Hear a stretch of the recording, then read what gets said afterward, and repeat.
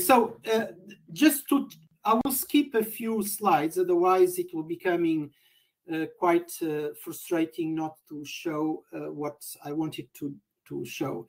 So uh, one important aspect, and some briefly uh, mentioned that, is we we are not to make a, a, forecast nowadays. We moved from this paradigm of deterministic forecasts towards a probabilistic forecast because this is the best approach to predict the weather. And this is an example of uh, three uh, uh, different forecast runs from the high resolution, so the nine kilometer forecast for a specific date and time. Okay, so this is focusing on a, on the uh, on the same on the same date, verification date. And if you look all of them, uh, it's clear that the large scale is well captured for a forecast, let's say starting this morning or last Saturday or or even on Thursday uh, last week. But uh, uh and you see the the the pressure, the low, the cyclone over the UK, the high pressure over the Atlantic is there. But if you look more in uh, more uh, close uh, you know, let's say, if you focus on certain certain regions uh, in Europe, you see slightly differences. Okay, so as as we get close to the event, as we use new observations, the model tries to uh, provide slightly different uh, scenarios. Uh, uh, for the, for that for the same event okay and the best approach is in fact to use this multimodal or the ensemble approach, which is basically trying to perturb the initial conditions and perturb the, the model parameterizations uh, to represent, uh, as some uh, explained before, to, to represent the model errors and the observation errors or the uncertainties, not knowing uh, what is going on at the initial conditions due to the uh, scarcity of, of observation. So what we produce is an ensemble of models trying to represent these uncertainties in the future. And, and, and for that, we use different, let's say, different uh, ways of represent the, the, the uncertainty.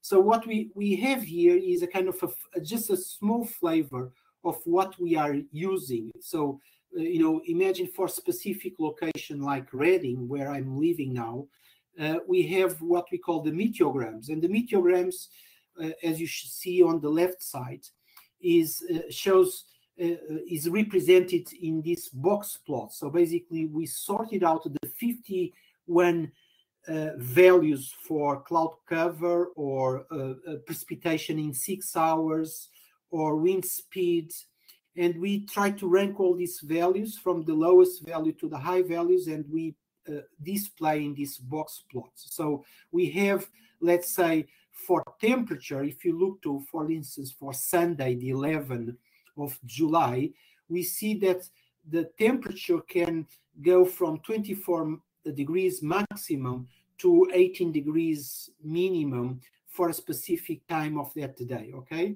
And this is the uncertainty associated with the with the forecast okay? Uh, uh, of course if we have a more predictable uh, situation then of course these bars will collapse and we'll have something that is similar in the first days as you, as you can see that on, on the on the first days of the forecast.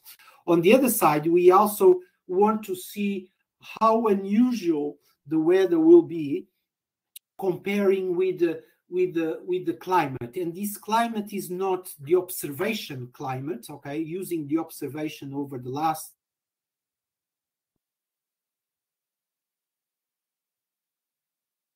let's say 20 years but is using you know what we call the model model to run past dates so what we call the reforecast and create a model climatology which in theory should not be uh, very different from the observation climatology of that specific location.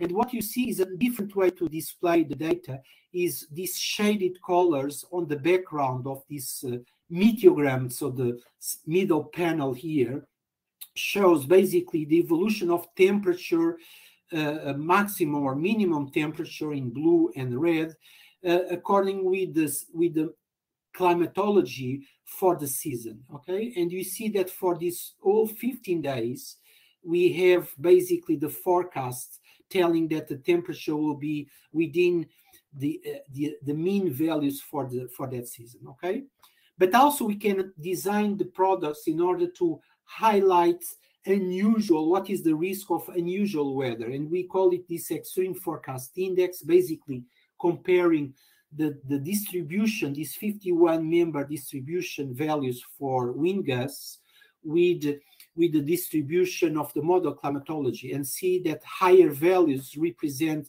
unusual weather for the season over specific uh, places like here in the uh, uh, uh channel uh, the channel and the and the Benelux and northern part of France.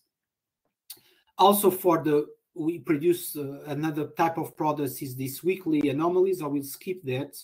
This is another product that we use, uh, we, we produce using the ensemble, so to generate the tracks for tropical cyclones, and and uh, and of course uh, another important, uh, uh, let's say, task is to evaluate our forecast. So what we have here is a, an objective score, what we call the six-day forecast anomaly correlation, where we compare our model with the other models. And you see that looking to this three time series, there are some times that we, for a specific region at a specific time step, we are better than other models or the other models are better than us. And this allow us, for instance, to, for instance, a specific day, let's say the 26th of May, we were very bad compared with the the uh, UK Met Office or the NCEP, okay?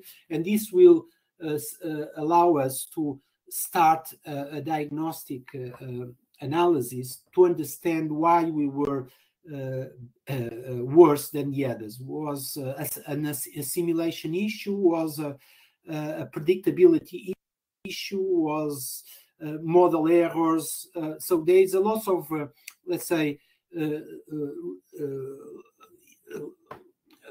let's say there is a lot of um, aspects that we can uh, look at it to understand why specific uh, uh, Uh, situations were poorly handled by the model.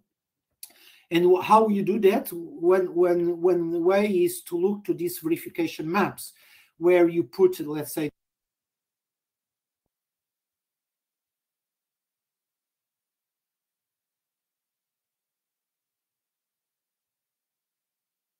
the forecast of precipitation in 24 hours overlaid with a um, what exactly what we we we we do in terms of processing this uh, this this diagnostics is we we we we basically try to every day uh, uh, identify problems in the model, uh, try to put them on a daily report. So as you see, there's uh, here the, a, a, slide where it shows the daily reports, and then on a weekly basis, on Fridays, we try to summarize the findings of of these five days uh, analysis and have a, a let's say a, a 30 minute discussion with the colleagues in house where we try to summarize these new findings and find solutions or uh, another another possibilities to uh, uh, have a deeper investigation of uh, of these problems. And of course this will uh, wrap is wrap up in a what we call the quarterly evaluation meeting where we basically try to pick up let's say uh, highlight cases which we we think that are are, are a good example of um, uh, uh, good example of uh, let's say um, investigation uh, uh, paths. And of course all these uh, uh, will feedback somehow in in research activities. So the idea is once we feed up with these cases into the research, they will try to evaluate what went wrong. If you know, could be a parameterization issue, could be a problem of uh, uh, uh data assimilation, and so